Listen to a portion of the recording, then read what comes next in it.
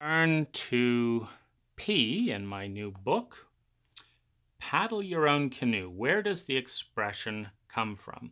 The phrase was first used in a poem published in Harper's Magazine for May 1854.